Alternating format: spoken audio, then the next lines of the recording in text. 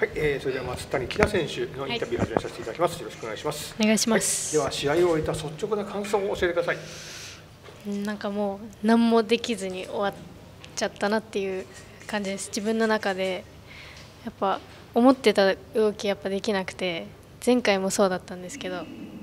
もう不完全燃焼です。まあ今回対戦しました優選手の印象を改めて教えてください。なんか映像見てもこう結構勢いがあって、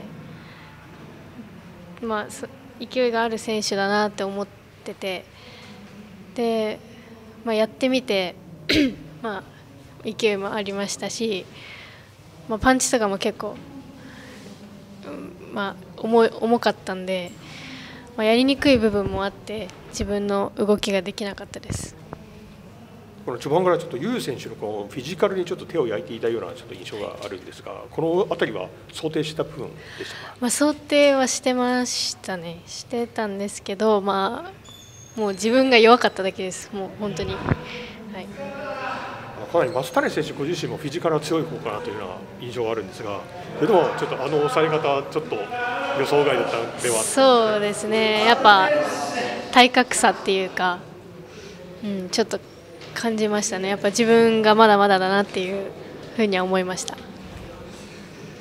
まあ、そういうちょっと、まあ、厳しい中でこう勝利を、はい、引き寄せた形になりましたけど、まあ、この競り勝てた要因っていうのはどこにあったと思いますか？うん、まあ、でも小谷会長にも言っていただいたんですけど最後の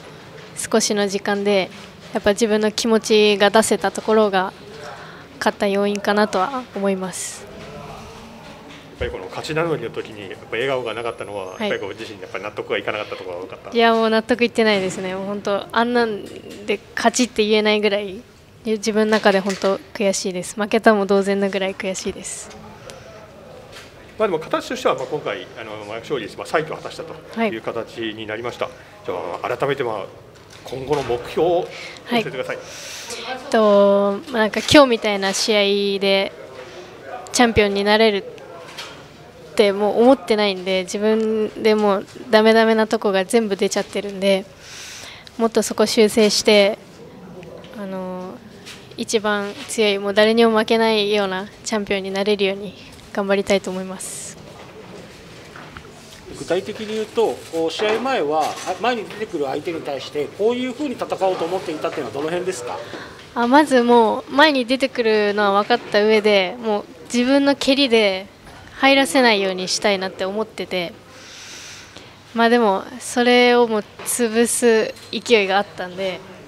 それでやられましたね。はい、っていう対策にはどうなんでしょう？自分がもっと前に出てフィジカルを強くしてっていう方向性なのかもっとテクニックを磨いたのか自分ではどんなふうに考えてますか？いやもう全部ですねもうフィジカルもそうですけどそこでもまず負けてちゃテクニックがあっても意味ないんで。まあ、どっちもですねどっちもこう誰とやっても負けないぐらい上げていかなきゃなとは思います。ありがとうございますではそれでは最後にファンにメッセージをお願いします。と今日は応援ありがとうございました。とちょっとつまんない試合してしまったんですけど次はもっと